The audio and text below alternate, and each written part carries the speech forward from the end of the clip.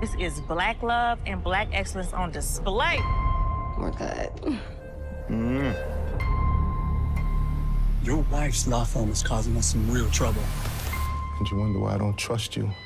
I need you to kill my wife.